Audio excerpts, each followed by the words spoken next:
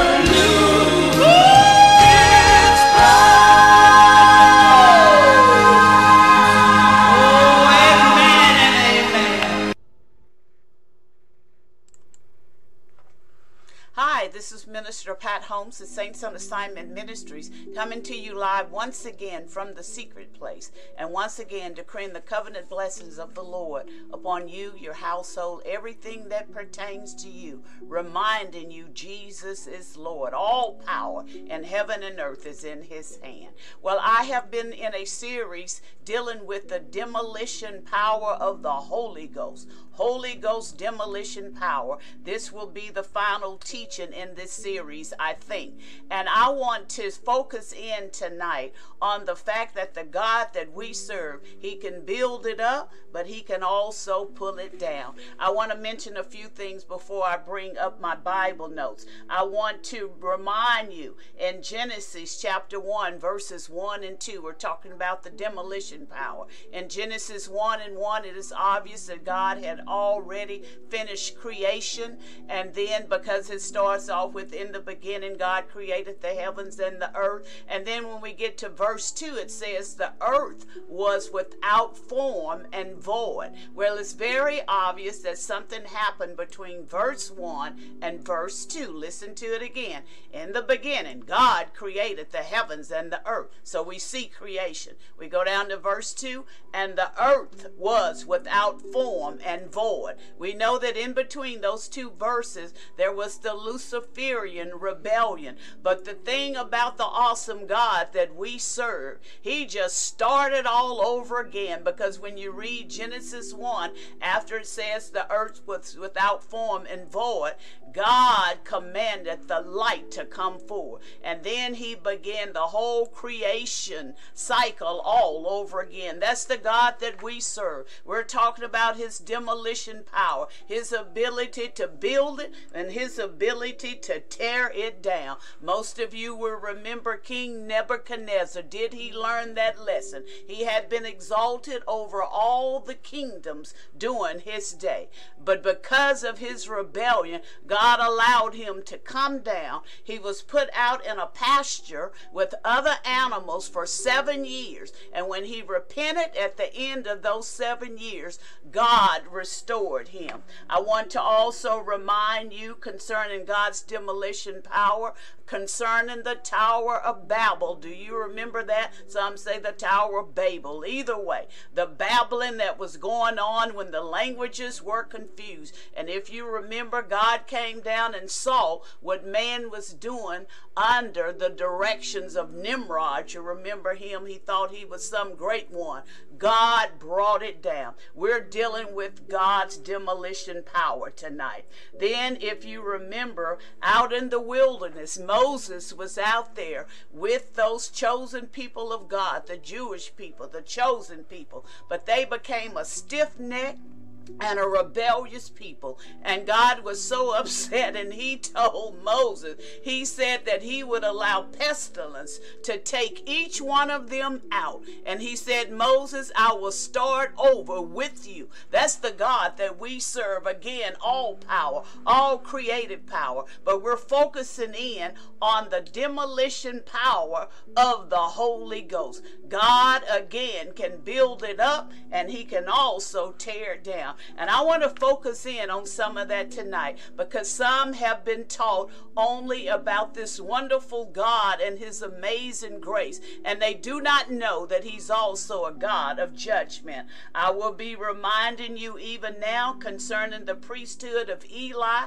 We're dealing with God demolition power. You remember he continued to not correct those rebellious sons that were serving with him as priests. God had warned them and God warned them, and then God brought all of them down. And one day, all three of them died, along with the daughter in law. Oh my God. You see, He is a God with demolition power. He will warn. He tells us that He will warn us. Warning comes before destruction. So tonight's teaching is a warning by the power of the Holy Ghost. It is a warning for us, the body of Christ.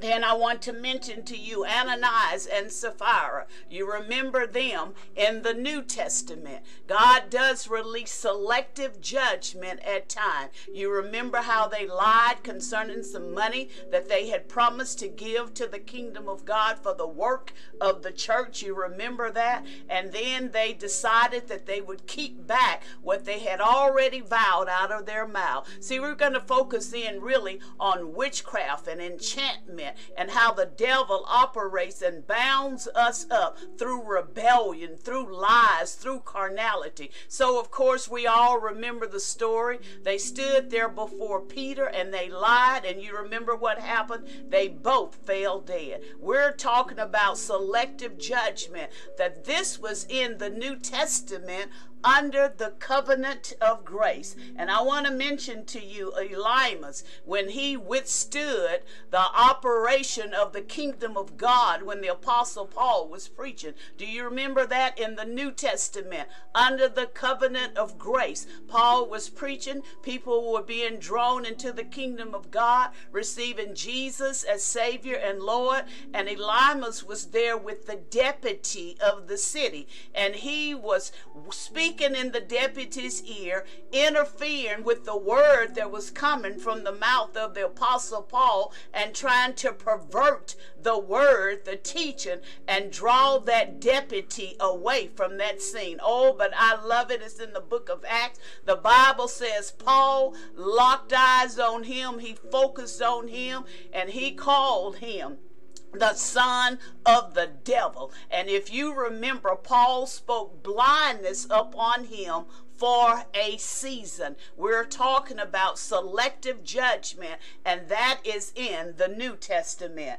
And then also we will mention Simon. You remember him in the New Testament under the covenant of grace, because I'm going to be dealing with witchcraft this month. As we know, uh, in a few days, Halloween, the high holiday of Satan, will be celebrated. People have already been kidnapped and prepared to be sacrificed by the kingdom of darkness. We need to be aware of these things so that we can pray and we can pray in advance. So I will be talking to you about Simon again during the days of the apostle Peter. If you remember, Simon heard uh, Philip preach and all of a sudden he became a believer. With this point, I'm bringing out the fact you can be a believer and still have a demonic stronghold inside of you. Simon is a perfect example of that. The Bible says in the book of Acts, he heard Philip preaching, he became a believer also, the scripture said, using the word also. And then later, the apostles came down and they began to lay hands on the ones that had asked Jesus to come into their hearts, and the people began to receive the baptism in the Holy Ghost. They began to speak in their heavenly language. So many have been taught that that went out the window years ago. Let me tell you, you'd better seek God for the baptism of the Holy Ghost. We need the power of the Holy Ghost enabled, enabled to, or, in order to enable us to stand during these times. So when Simon saw the people were receiving the baptism in the Holy Ghost with the evidence of speaking in tongue, when the apostles laid hands on those people, he wanted in on it. You see, he was Simon the sorcerer. He had operated by bewitchment, by witchcraft. We're going to deal with some of that tonight. And you know what? Peter looked at him and said, Your money perish with you. Your money can't buy this. See, we can't can't buy. So many people think the dollar bill can buy favor with God. No, we have to obey with the dollar bill, but you can't buy favor with God with money. We simply have to surrender our hearts and obey Him. I want to show you just a portion of a quick video that I had already prepared dealing with God's demolition uh, demolition power. Now this is a video dealing with demolition in the natural, but we're going to take it into the realm of the spirit. It is so interesting as I was watching this video. First they would lay explosive in the buildings. You're going to hear the explosives going off. And then after those explosives go off, the building would come down. That is exactly what the word of God is. It is an explosive. And I tell you those that are operating in darkness, this is a warning. The explosives are getting ready to go off by God's demolition team. Watch this. One.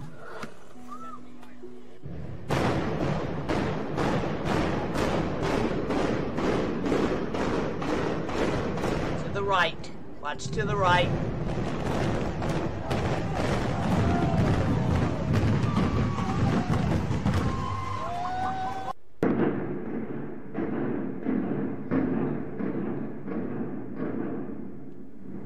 Speaking on Holy Ghost demolition power tonight.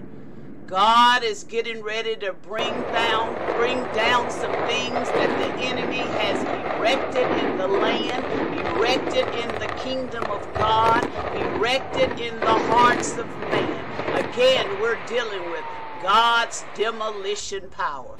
He'll build it, but he'll also bring it down. Just as I said earlier, ask King Nebuchadnezzar.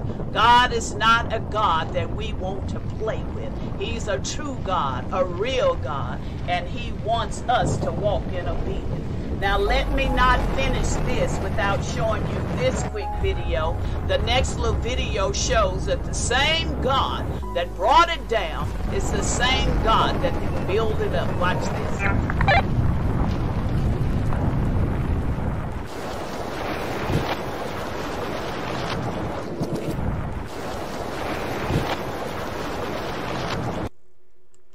Hallelujah. You saw that building come right up out of the ashes. That's the God that we serve. He works with us, His Spirit strives with us because He wants to protect us and perfect us, and He wants us to mature in the things of the Lord. He tells us in the New Testament we have to come off the milk. So tonight is not a milk teaching. We're going to throw out some steaks, as my pastor used to say. I want to go to page one of my outline. As I said, we are dealing with bewitchment, enchantment, and tonight's subject is tore up from the floor up. Those videos reveal that God will tear it up from the floor up if it's not right. And we have here who I mentioned earlier, the sorcerer Elymas, and it says under the covenant of grace. I want to bring that out because a lot of times when you're talking about witchcraft and things of that nature, people always refer only back to the Old Testament. I want you to know the devil is still the devil even in the New Testament. So here in the New Testament, Acts 13 and verse 8, it says, But Elymas the sorcerer, for so is his name by interpretation, withstood them, seeking to turn away the deputy from the faith. I mentioned that earlier. The deputy that was there listened to the apostle Paul preach. Look at verse 9. And Saul, who also is called Paul, filled with the Holy Ghost, set his eyes on him. I just want to pause and say, think about it. See, when you have the Holy Ghost power on the inside, he will lead you and let you see when the devil is trying to interfere concerning the work of God. Then we go down to verse 10, no, verse 9, I believe. Then Saul, no, verse 10, verse 10. And it says, and said, this is what Paul said, full of all subtlety. Who else was called subtle? Remember in the Old Testament, in the book of Genesis, that snake that slithered into the garden? He was called subtle above all the beasts of the field. So here Paul uses that term to refer to this sorcerer. When you're operating in the power of darkness, you're operating with the spirit of the devil on the inside of you, and he is subtle. So he said subtlety and all all mischief. He said, Thou child of the devil, thou enemy of all righteousness, wilt thou not cease to pervert the right ways of the Lord. Oh my God. He picked up on it right away. A demonic spirit inside of that sorcerer interfering with the kingdom, the work of the kingdom of God, interfering with the gospel message that was going forward. And look what Paul said. We go down to verse 11. And now, Behold, the hand of the Lord is upon thee, and thou shalt be blind, not seeing the sun for a season. And immediately there fell on him a mist and a darkness, and he was led about, and he went about seeking someone to lead him by the hand. Oh my God.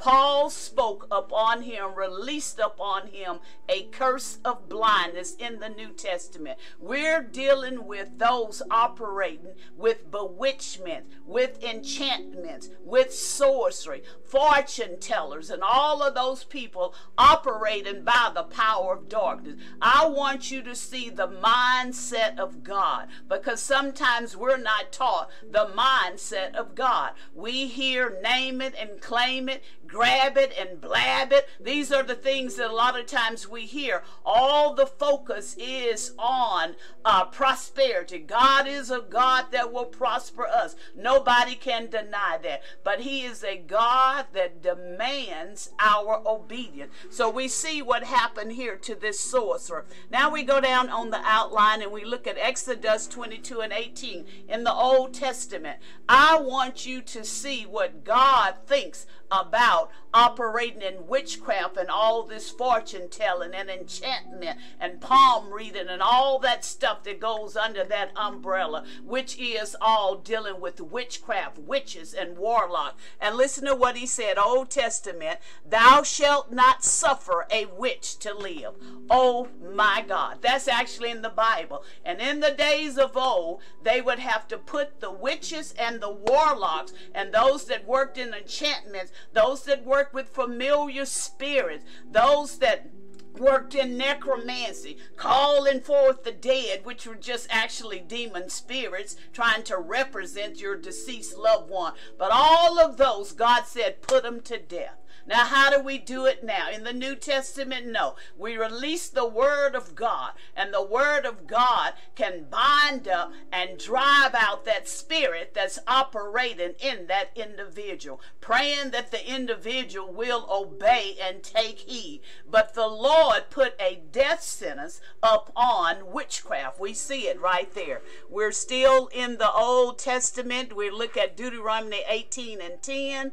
There shall not be found among you anyone that maketh his son or his daughter to pass through the fire, or that you this divination are an observer of times, are an enchanter, are a witch. We see that word again. There was an idol god back in the days of old that the people, God's chosen people, began to worship. See, when you get mixed into the world and hang around the carnality in the world, uh, the, the spirit that is upon the world can seduce you, and you will start participating in the same things that the world participates in. Oh my God, let me just throw this to the side. Like these uh, Hollywood housewives. That same spirit has crept over into the church. The word diva. I just like I, I, the other day I had to just shake my head. Uh, one minister referring to the other minister as a diva. Do you know what a diva is?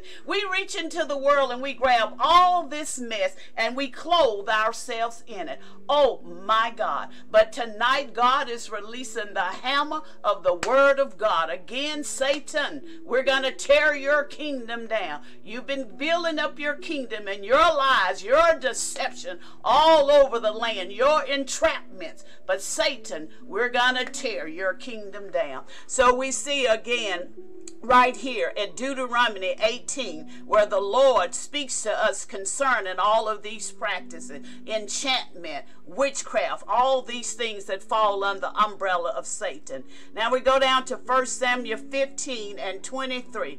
I love this scripture because this is going to tell you another way that witchcraft operates, and certainly in the body of Christ. Listen to this. It says, For rebellion is as witchcraft is as the sin of witchcraft. When we rebel, so many rebel. Listen to the next part of it. I love this. And it says, and stubbornness, oh my God, is that spirit of stubbornness up on many. Many that are called in leadership, I'll do it my way. We better do it God's way if we're going to be accepted by Him. We learned that lesson in the very beginning of the Bible with Cain and Abel. Cain thought he would do it his way and offer up any type of sacrifice to the Lord. And you know what happened? God said, ain't accepting that. We have to follow the dictates, the plans, the instruction, the mandates of the Most High God. So again, let me start at the beginning. For rebellion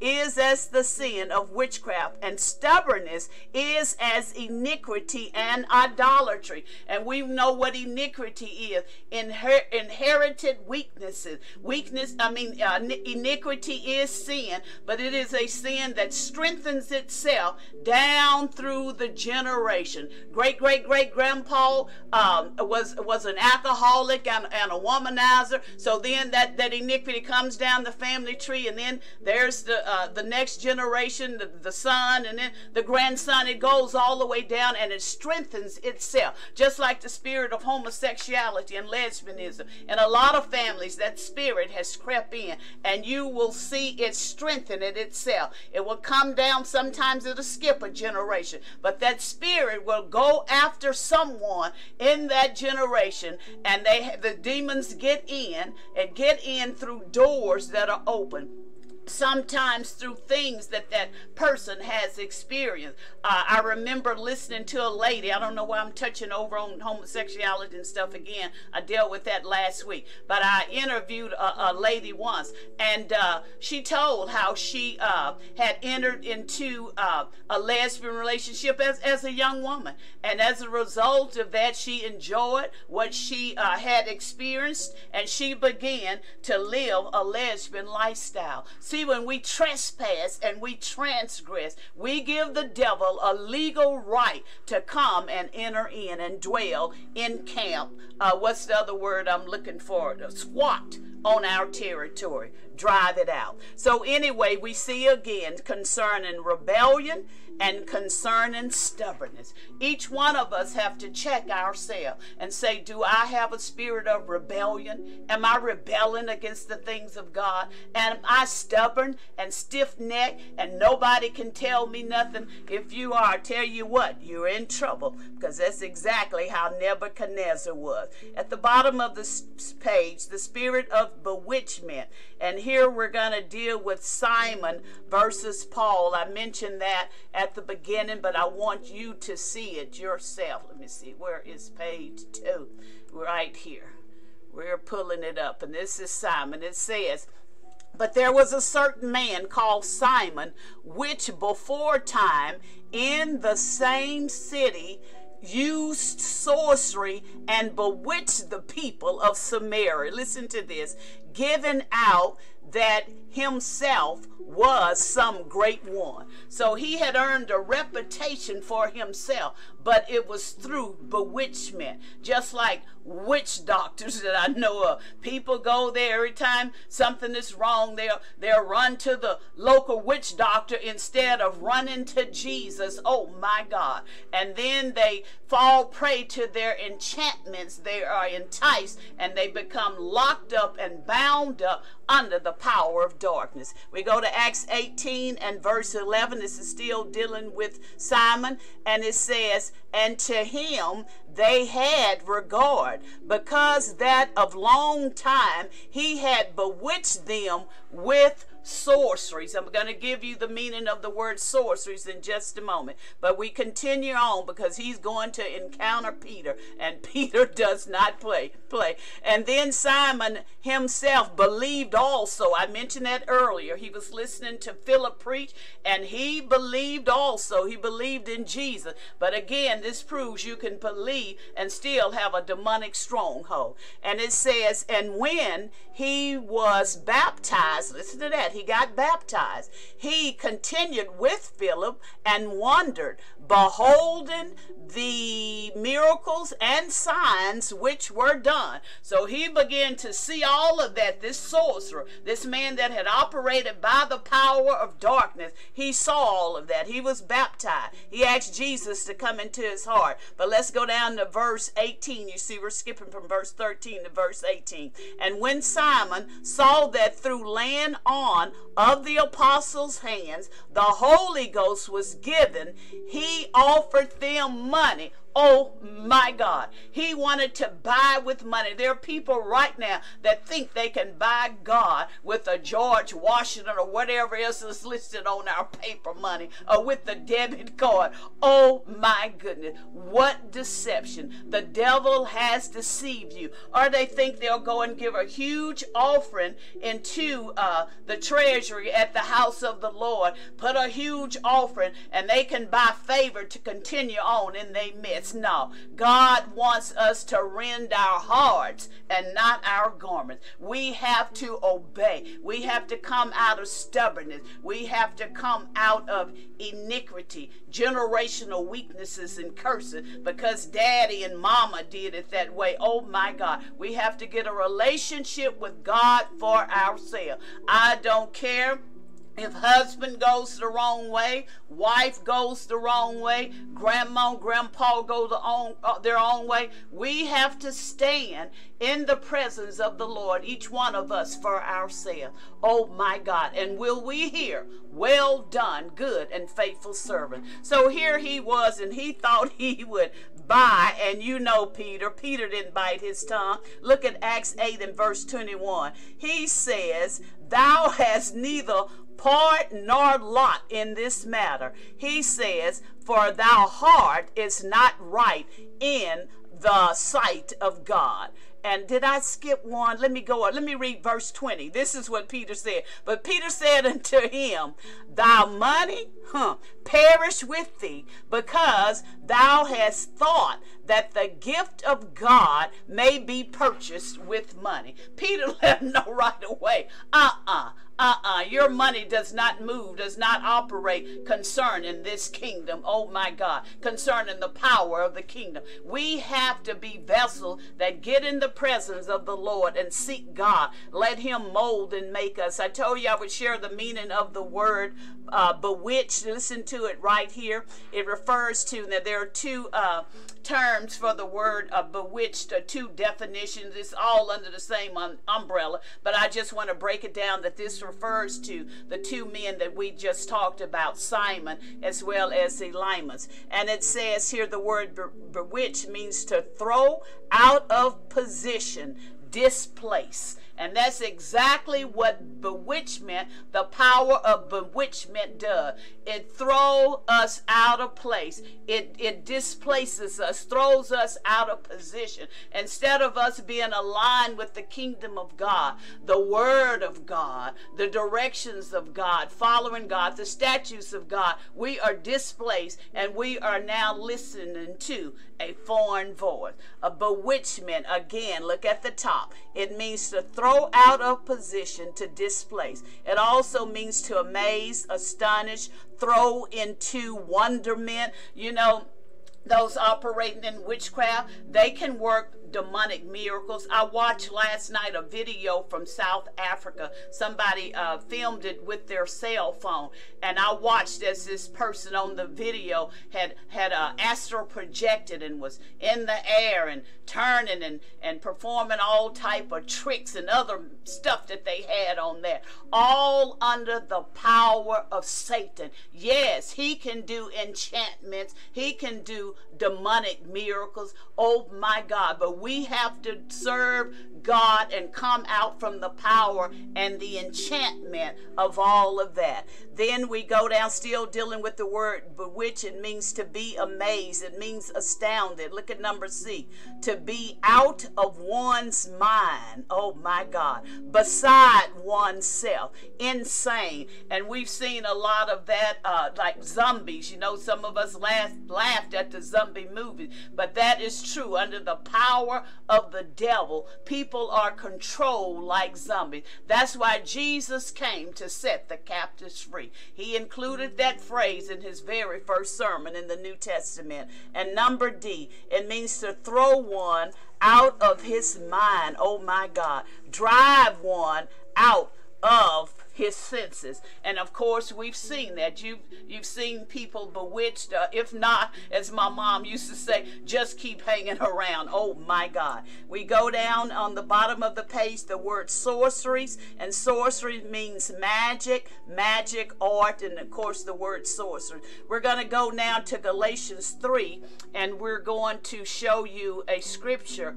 where the word uh, bewitched is used, and then we'll show you the meaning of that uh, bewitched. So here at the top of the page, Paul said, O foolish Galatians, who has bewitched you that you should not obey the truth. He says, before whose eyes Jesus Christ has been evidently set forward. So Paul was dealing with them uh, in this particular. Um, teaching or this particular story in the book of Acts. They had began, uh, they'd come out from under the law. There are those that are still trying to live by the law. But Jesus brought forth and instituted faith that we walk by faith. We're not bound up under the law. So he was telling them somebody has bewitched you. You started out in faith. Now you're going back under the law. That's another teaching. Don't have time. But here we look at the meaning of the word bewitched in this particular sentence. And, uh, oh, well, this is another scripture, and I'll show you the meaning in a minute. It's, no, this is the meaning. I'm sorry. Bewitched in this particular scripture above. It says to speak ill of one, to slander, are traduced. Now listen to the meaning. That was a new word for me, that traduce. To slander him or traduce him. Listen to this. It says, speak badly of or tell lies about someone so as to damage their reputation. Oh my God. Paul refers to that in the scripture to the Galatians as bewitchment. And does that not go on in the body of Christ? To release lies against somebody, to slander somebody as to ruin their reputation. He says that is bewitchment. I just want to say Selah, pause and think about it. And then it means to charm and it means to bewitch. I think I referred to the charms in my last teaching. People that are into all of this, put the rabbit foot in your pocket. I'll never forget what I think it was Pastor John Osteen. He was my pastor for a while, and I love what he said. He said, if the rabbit foot carries so much power, why did the rabbit lose all of his feet? Only Pastor John could come up with something like that. That is so true. But yet, mankind, we, the chosen people of God, believe we have to run around with a rabbit's foot on our keychain or in our pocket to bring us luck. You don't have to operate under luck. Jesus died on the cross so we can operate under his blessings. Glory to God. Then we go down on the outline. I want to tell a personal testimony where it says reference to people from Louisiana. Oh, goodness and their belief system. I did, uh, I shared with you, I think last week, about the 20 years of hospital ministry and 12 years of prison ministry, but also did four years going to four separate private uh, care facilities in our city. I did a Bible study at four of them for four years.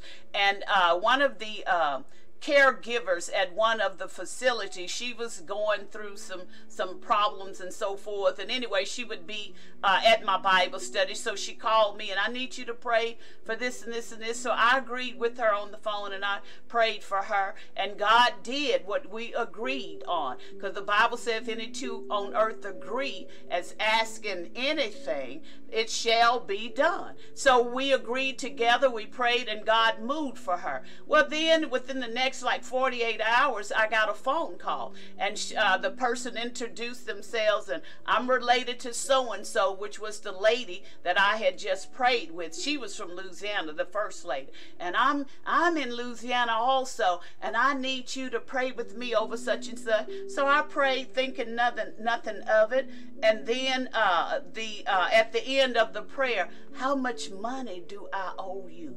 I'm thinking, what?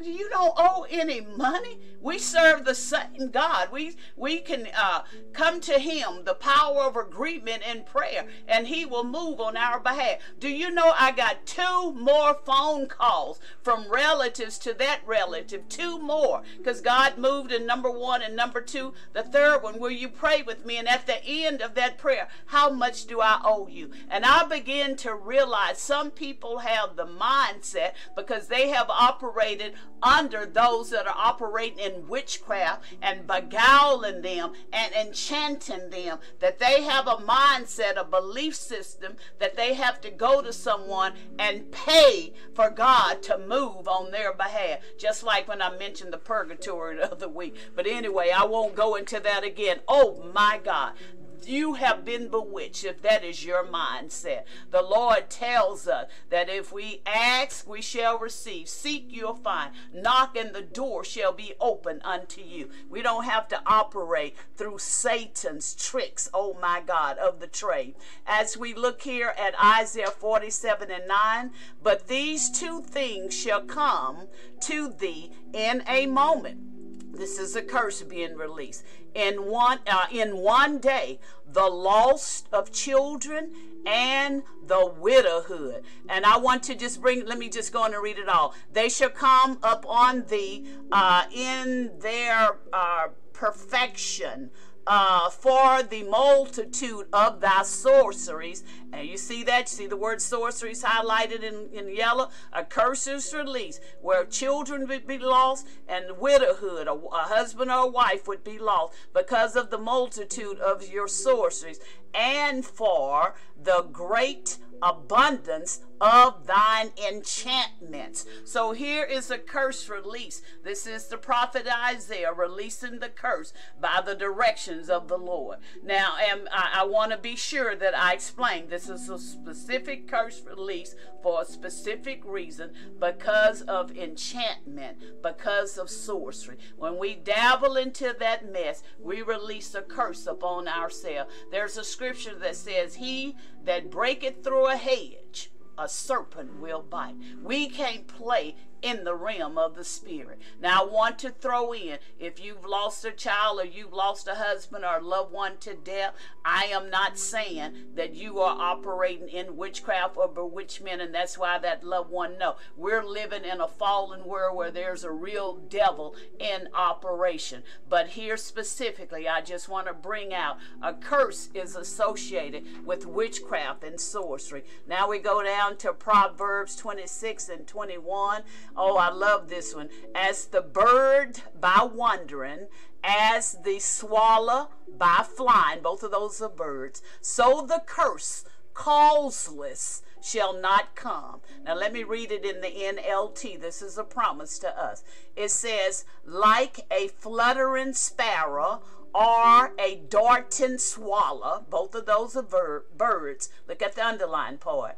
An undeserved curse will not land on its intended victim. Isn't that awesome? An undeserved curse. But the opposite of that is there are deserved curses. We have to all, uh, walk upright. We can't play on this battlefield. Then we go to Proverbs uh, 26 and 3.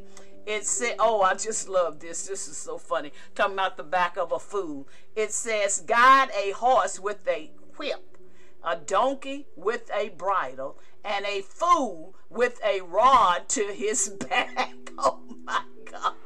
A fool has to be guided with a rod to his back. We don't have to be fools, glory to God.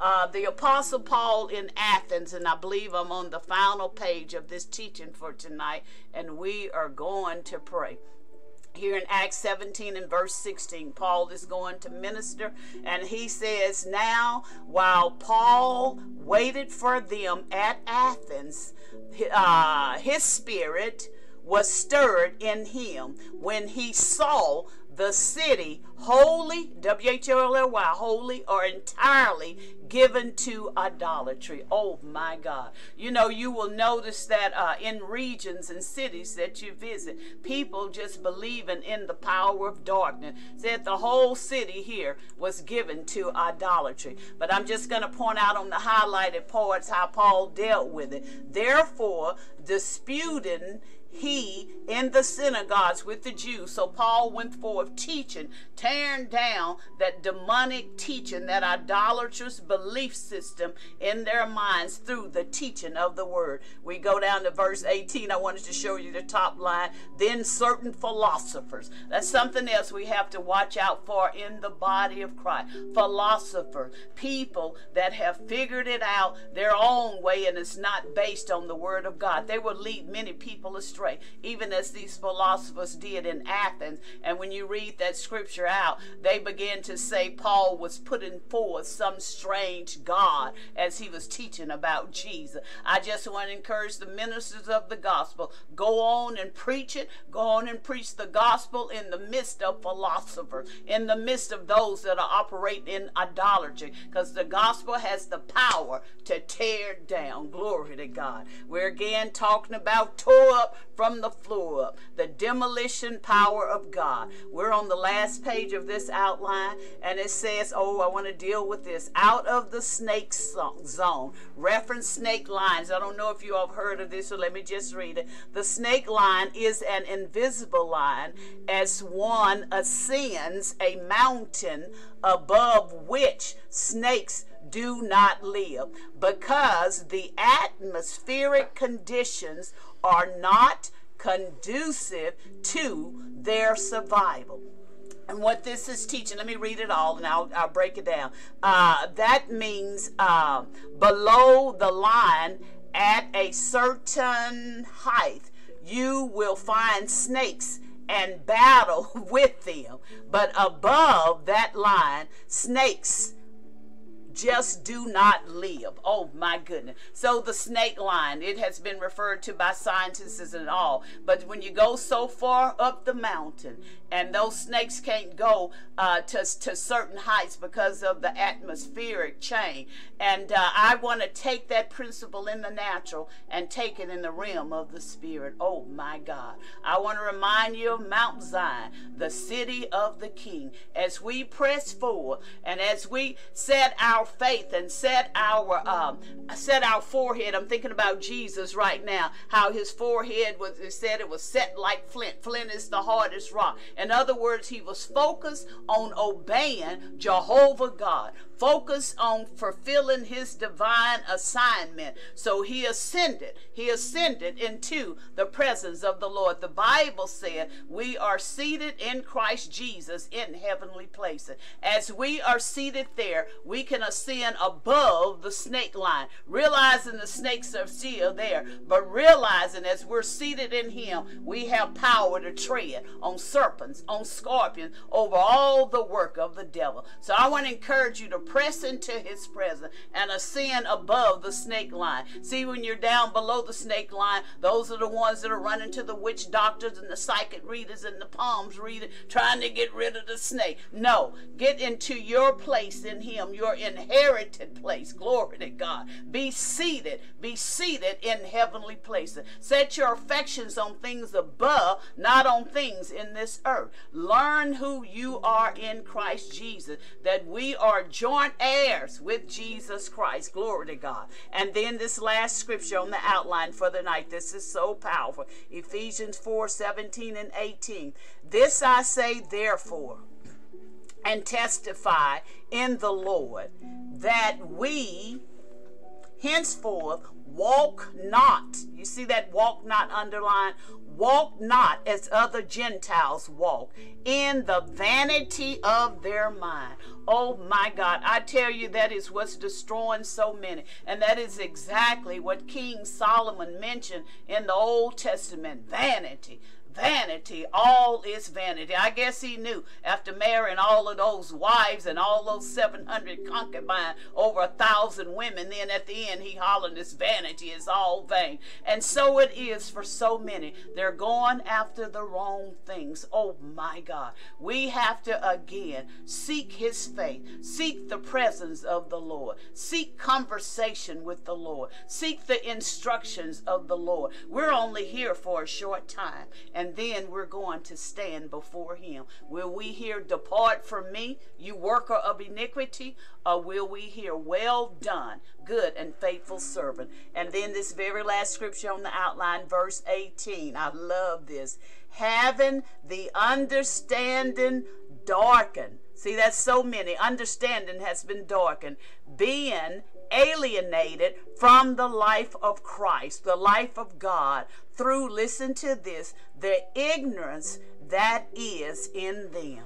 You know, we don't have to operate like that, be alienated from the life that is in God, the life through Christ Jesus. We don't have to operate with a darkened understanding, but that's what you're going to have when you dabble in all of this garbage. Oh my God. And he says, uh, the ignorance that is in them because of the blindness of their heart. We don't have to have blinded hearts tonight. Oh my God. We need to operate in the presence of the Lord. Be seated in his presence. I'm trying to go to another page where I can just pull that out the way and I will have the full screen again. But just want to encourage you. Again, we talked about tonight, tore up from the floor up. Is that you? Does that concern your family, your household, some situation on your job? I know it concerns our nation. Do you not know that we have sorcerers in top positions in our nation praying, oh my God, praying that uh, an evil agenda prevail? So I want to encourage the prayer warriors to pray that we have speaking power. The Bible said we have binding and loosing power.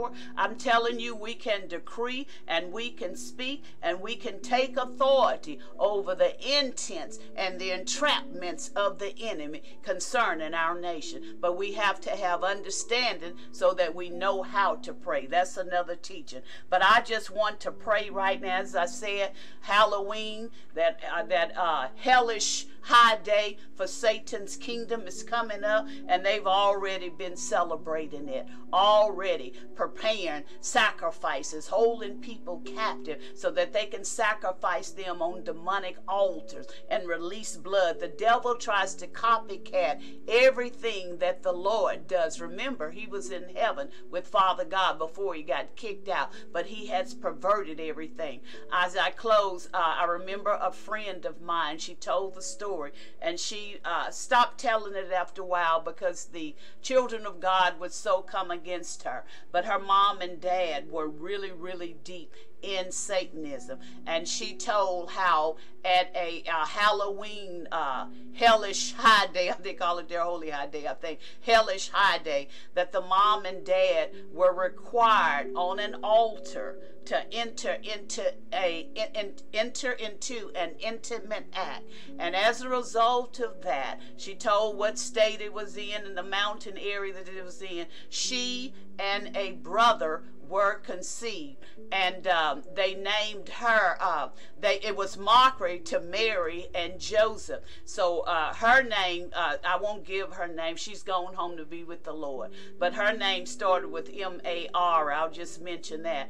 And then uh, the twin uh, started with the name uh, Joseph. It was named Josephine. Well, that twin was later sacrificed in all that Satanism. She got out of all of that. She ran ran away, glory to God, was met by a Christian family and taken care of by a Christian family, got set free, pulled off all of those demonic teachings and enchantments, prayed before God. God cleansed her, healed her. She became a beautiful praise dancer before the Lord. But all of this stuff happens. The power of darkness is moving over the land, but we don't have to be entrapped by it. Father, I thank you for the teaching of the word.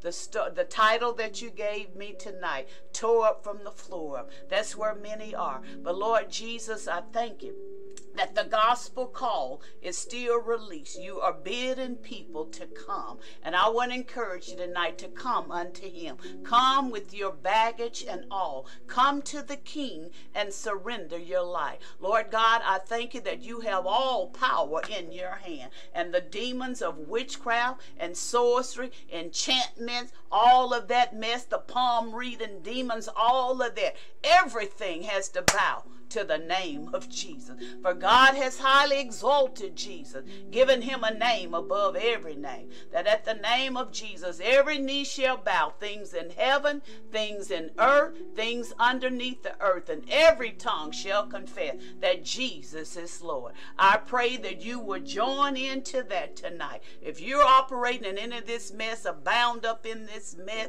have a generational curse of this mess, you need to bow in the presence of the Lord and repent. Just say, Lord Jesus, I acknowledge that I have been participating in this. Lord, and I ask that you forgive me of my sin. And I ask you to come into my heart, Lord Jesus. Be my Savior and be my Lord. He automatically adopts you in and begins to teach and to wash away the junk with the teaching of the Word of God. Get under good teaching. Get in a good Bible believing church, a church where the power of the Holy Ghost is released from the altar to tear down all demonic strongholds. Glory to God.